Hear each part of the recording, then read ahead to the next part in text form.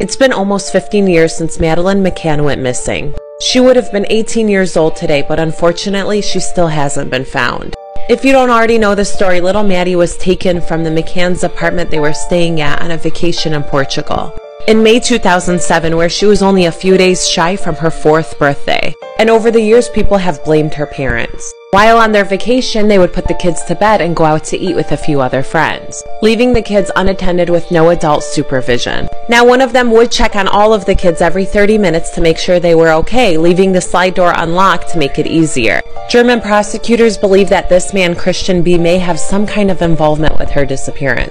But he's currently already serving time to unrelated charges. And there is no evidence that has came out yet. And although people do believe a theory that her parents had something to do with all of this, they haven't stopped searching for their daughter.